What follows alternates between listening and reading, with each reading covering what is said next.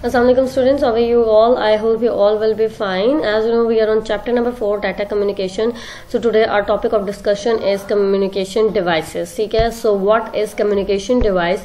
A communication device is a hardware that is used for transmission of information from one place to another between computer and other devices. ठीक है communication का मतलब क्या होता है कि हम एक point से दूसरे point में information send कर रहे होते हैं ठीक है तो device क्या हुई हम हम जो information send करते हैं वो एक hardware के through send करते हैं ना ठीक है? सो कम्युनिकेशन डिवाइस क्या होता है? एक ऐसा हार्डवेयर होता है जो एक पॉइंट से दूसरे पॉइंट में इंफॉर्मेशन को सेंड करने में हेल्प करता है, ठीक है? चाहे वो बिटवीन द कंप्यूटर से इंफॉर्मेशन सेंड हो या किसी और डिवाइस में इंफॉर्मेशन सेंड हो रही हो। तो यहाँ पे आप पिक्चर्स देख सकते हैं, यहाँ पे डिफरेंट टाइप्स ऑफ़ डिवाइसेस हैं through which we can send the information okay next is List some commonly used communication devices. There are four communication devices which are uh, which are used for communication.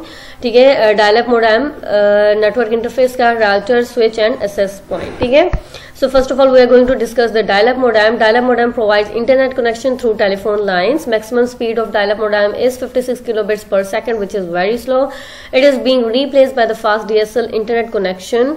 DSL connection for internet. A telephone line is used for use for voice transmission, which is analog signal ठीक है, अगर आप यहाँ पे देखें तो हमारे पास इस पिक्चर में ये जो फ़ोन लाइंस नज़र आ रही हैं, ये आपके पास टेलीफोन लाइंस हैं, ठीक है? तो पास में जब डीएसएल नहीं था तो फिर लोग टेलीफोन लाइंस के थ्रू इंटरनेट को यूज़ करते थे, ठीक है? तो टेलीफोन जो एक तो इसके जो वायर होती थी, वो इंटरनेट सर्विस प्रोवाइडर से आती थी और एक एंड पे मोडाम लगा हुआ होता था, ठीक है? ये मोडेम क्यों लगता था? क्योंकि ये टेलीफोन जो जो टेलीफोन लाइंस है ना ठीक है? आ, हम उसमें क्या होता है? साउंड होती है ठीक है? वॉइस होती है ठीक है? तो आपको पता है कि जो वॉइस होती है या जो साउंड होता है वो तो एनालॉग सिग्नल्स यूज़ करता है ठीक है? मतलब उसमें एनालॉग सिग्नल्स होते हैं लेकिन कंप्यूटर तो डिजिटल सिग्नल्स यूज़ करता है ठीक है?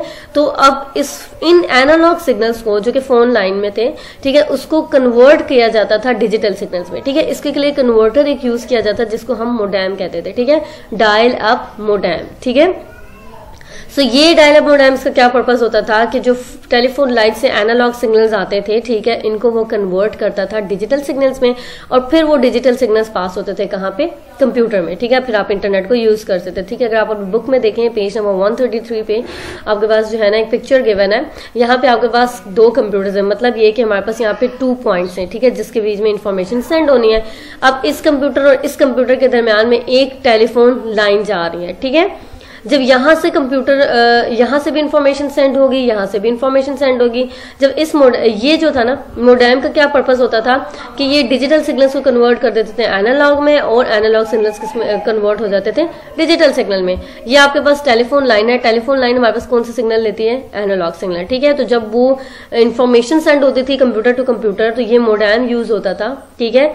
ये इन टेलीफोन लाइंस के एनालॉग सिग्नल्स को कन्वर्ट कर देता था डिजिटल सिग्नल्स में, ठीक है? नेक्स्ट हम इसको पढ़ते हैं कि आगे क्या है हमारे पास what is modulation and demodulation क्या होता है? uh, ये भी हम पढ़ते हैं ठीक है। Modem convert digital signal to analog signal for transmission over telephone line this process is called modulation ठीक है? A modem convert digital signal into analog वो वो मोडेम जो डिजिटल सिग्नल्स को कन्वर्ट करता था एनालॉग सिग्नल्स में ठीक है क्या ट्रांसमिट करता था कोई भी इंफॉर्मेशन और किस मीडियम के थ्रू इन्फॉर्मेशन सेंड हो रही थी टेलीफोन लाइंस के थ्रू ठीक है? तो उसको हम कहते थे मॉडुलेशन डी मॉडुलेशन क्या होता था? कि डी मॉडुलेशन में हमारे पास एनालॉग सिग्नल्स कन्वर्ट होते थे डिजिटल सिग्नल्स में, ठीक है? सो इसको हम डी मॉडुलेशन कहते थे, ठीक है? सो हम ये कह सकते हैं कि मॉडुलेशन में हमारे पास क्या होता है कि जो एनालॉग सिग्नल्स होते थे जो डिजिटल सिग्नल्स होते थे, ठीक है?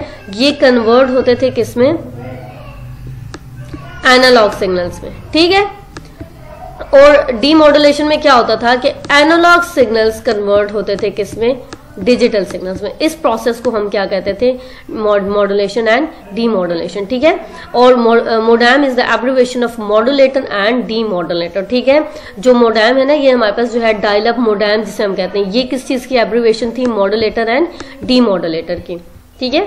सो नेक्स्ट पॉइंट की तरफ़ मूव करते हैं, हमारे पास नेक्स्ट पॉइंट है what is interface network interface card ठीक है NIC a network interface card और simple network card is use to connect computers together to to create computer network ठीक है?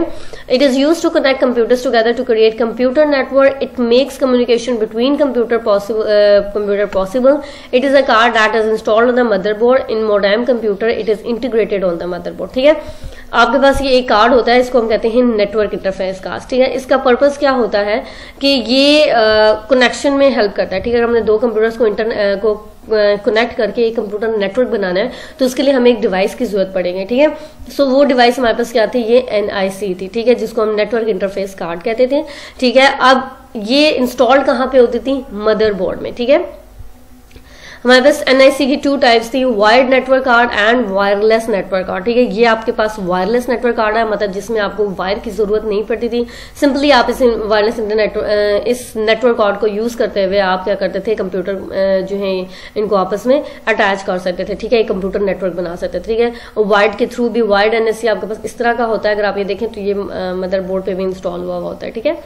सो so, इन दोनों का पर्पस इन दोनों का क्या पर्पस है कि ये कंप्यूटर नेटवर्क बनाता है ठीक है कंप्यूटर को कंप्यूटर नेटवर्क को क्रिएट करने में आप क्या करता है एक मेन रोल प्ले करता है ठीक है so next is router router is a communication device that is use when network uh, when network have to be connected for communication ठीक है they inf the information from one network to another by selecting the pathway available ठीक है there are two types of routers ठीक है? Wire routers and wireless router अगर आप यहाँ पे देखें तो हम यहाँ पे क्या कर रहे हैं? एक नेटवर्क बना रहे हैं ठीक है?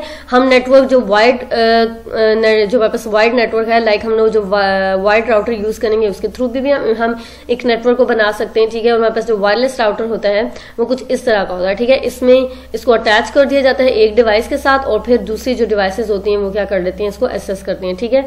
सो बेसिकली राउटर भी हमारे पास क्या है? एक कम्युनिकेशन डिवाइस है और जब जब हमने दो कम्युनिकेशन या दो कंप्यूटर नेटवर्क के दरमियान या कोई भी इंफॉर्मेशन या कोई भी डिवाइसेस जो हैं, हमने सेंड डिवाइसेस के थ्रू इंफॉर्मेशन सेंड करनी होती है तो हम नेटवर्क बनाते हैं। ठीक है? सो ये चीज़ याद रखिएगा कि डिवाइसेस कम्युनिकेशन डिवाइसेस क्यों यूज़ होती है? क्योंकि हमने नेटवर्क के नेटवर्क में कम्युनिकेशन इंफॉर्मेशन को सेंड करना होता है। ऑब्वियसली आपको पता है कि जो नेटवर्क है वो दो या दो से ज़्यादा कंप्यूटर्स या अदर डिवाइसेस के दरमियान में बन सकता है। ठीक है?